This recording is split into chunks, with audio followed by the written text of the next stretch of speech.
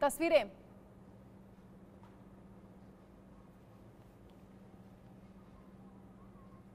तो राहुल गांधी नामांकन दाखिल करने के लिए पहुँचे हैं। उस दौरान की तस्वीर आपको दिखा रहे हैं, रायबरेली की तस्वीरें हैं। ये आप देखिए, जिस गाड़ी में राहुल गांधी सवार होकर यहाँ पहुँचे हैं, उसको चारों तरफ़ से कार्यकर्ताओं ने घेर लिया है।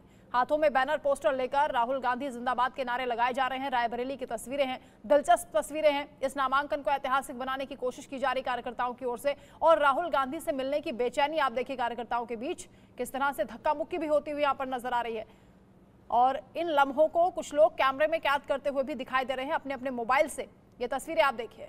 राहुल गांधी, क्योंकि अब रायबरेली से चुनाव लड़ रहे हैं, पर्चा दाखिल करने के लिए पहुँचे हैं। कलेक्ट्रेट के बाहर की तस्वीरें आप देख रहे हैं।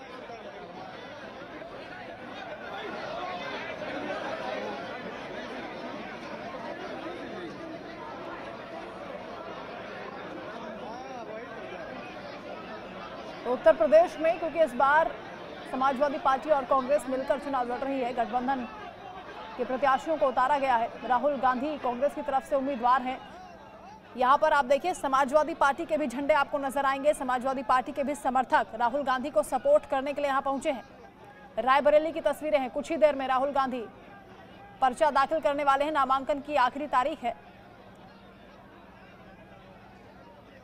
इस नामांकन को यादगार बनाने के लिए कार्यकर्ताओं का जोश, उनका उत्साह, आप देखिए, खास तैयारियाँ की गई हैं। राहुल गांधी का काफिला यहाँ पर पहुँच गया है और कुछ ही देर में वो पर्चा दाखिल करेंगे। उनके साथ माँ सोनिया गांधी, बहन प्रियंका, जीजा रॉबर्ट वाड्रा भी नज़र आएँगे। मल्लिकार्जुन खड़गे भी यहाँ पर पहुँचे हुए हैं। कांग्रेस के तमाम बड़े चेहरे आज राहुल गांधी के साथ पर्चा दाखिल कराने के लिए पहुँचे हैं। शक्ति प्रदर्शन एक तरीके से रायबरेली में देखा जा रहा है राहुल गांधी के चुनाव लड़ने को लेकर।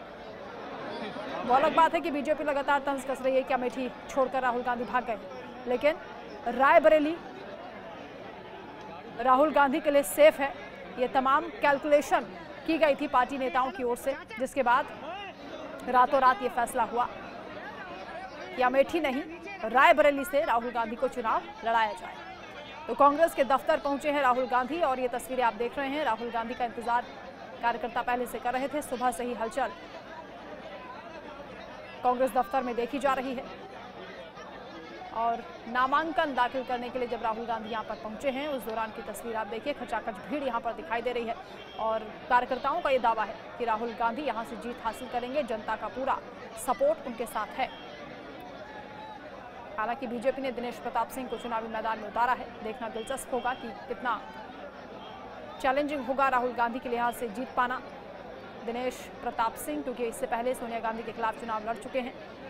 अमेठी में जैसे कांग्रेस के किले को स्मृति ईरानी ने ध्वस्त किया, वैसी ही उम्मीद दिनेश प्रताप सिंह से भी बीजेपी रायबरेली में कर रही है। कांग्रेस का गढ़, परंपरागत सीट, रायबरेली, जहाँ से राहुल गांधी को चुनावी मैदान में उतारा गया है। पर्चा दाखिल करने के लिए राहुल गांधी पहुँचे हैं और शक्ति प्रदर्शन एक तरीके से कांग्रेस कर रही है। समाजवादी पार्टी के भी समर्थक कार्यकर्ता राहुल गांधी को सपोर्ट करने के लिए रायबरेली पहुँचे हैं। ये तस्वीरें आप देख रहे हैं हाथों में। बैनर, पोस्टर, झंडे लेकर तमाम कार्यकर्ताओं का हुजूम।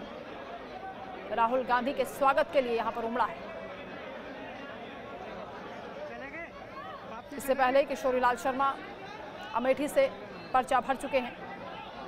स्मृति ईरानी के खिलाफ चुनावी मैदान में उतरे हैं। कांग्रेस के भरोसेमंद है, ईमानदार नेता के तौर पर छवि है, जनता के बीच रहते हैं। रायबरेली, अमेठी दोनों की जगह पर कांग्रेस के चुनाव की ज़िम्मेदारी वो संभालते रहे हैं। और अब कांग्रेस उनके चुनाव की ज़िम्मेदारी संभाल रही है। प्रियंका गांधी ने भी इस बात को दोहराया और जनता से सपोर्ट मांगा और दूसरी तस्वीर आप देख रहे हैं। टीवी स्क्रीन पर हम आपको अलग अलग तस्वीरें दिखा रहे हैं। वो चार बड़े चेहरे, दोनों सीटों पर जिनका दिलचस्प मुकाबला है। और ये रायबरेली की जंग, राहुल गांधी वर्सेस दिनेश प्रताप सिंह। कांग्रेस का ये मानना है कि राहुल गांधी यहाँ से जीत हासिल करेंगे, सोनिया गांधी की तर्ज पर, क्योंकि उनकी ये परंपरागत सीट है। हालाँकि ऐसा ही पहले अमेठी के लिए भी कहा जाता था, लेकिन राहुल गांधी के लिए कितनी मुश्किलें दिनेश प्रताप सिंह पैदा कर पाते हैं, ये भी देखना दिलचस्प होगा। मुकाबला इंटरेस्टिंग हो गया है और कार्यकर्ताओं का जोश किस तरह से हाई है, आप देख रहे हैं, गांधी परिवार के ही किसी सदस्य को अमेठी से भी कार्यकर्ता चुनाव लड़वाना चाहते थे। हालाँकि ऐसा हुआ नहीं, लेकिन किशोरी लाल शर्मा को चुनावी मैदान में उतार दिया गया। किशोरी लाल शर्मा का ये कहना है कि कार्यकर्ता होने के बावजूद उन्हें परंपरागत सीट सौंपी गई है। एक बड़ी ज़िम्मेदारी के तौर पर वो इसे निभाएँगे और हर मुश्किल का सामना करेंगे, मेहनत करेंगे, जीत हासिल करेंगे कांग्रेस के लिए। इधर रायबरेली में शक्ति प्रदर्शन कांग्रेस का आप देख रहे हैं तस्वीरों के ज़रिए।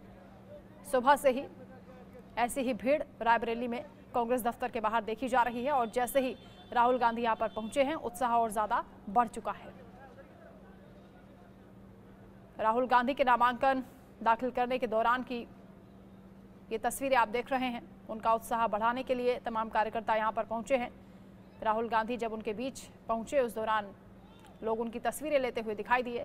अब पर्चा दाखिल करने वाले हैं कुछ ही क्षणों में राहुल गांधी।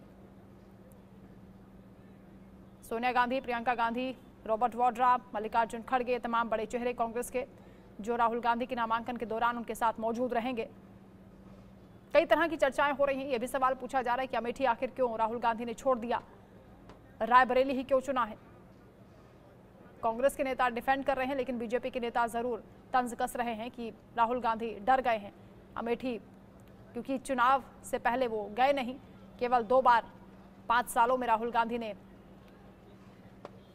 अमेठी की जनता की बात सुनी, लेकिन स्मृति ईरानी, क्योंकि लगातार वहाँ पर डटी हुई हैं और जनता की हर एक समस्या का समाधान वो खुद करती हैं केंद्रीय मंत्री और सांसद होने का भी फ़ायदा उनको मिलता है वहाँ के विकास कराने के लिए।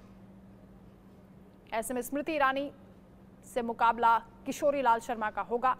हालाँकि समर्थक उम्मीद कर रहे थे कि ये मुकाबला राहुल गांधी अगर आते तो और ज़्यादा दिलचस्प होता, कड़ा होता। अब रायबरेली राहुल गांधी ने चुना है।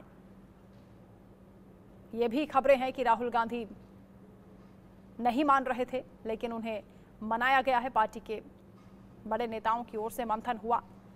हालाँकि गेंद मल्लिकार्जुन खड़गे के पाले में डाल दी गई थी कि वही तय करेंगे कि आखिर कौन होगा। प्रत्याशी कहाँ से चुनाव लड़ेंगे? राहुल गांधी। वायनाड में इस बार मुकाबला टफ लग रहा है, ऐसी भी खबरें हैं। और इसीलिए रायबरेली राहुल गांधी के लिए सेफ़ सीट मानी जा रही है।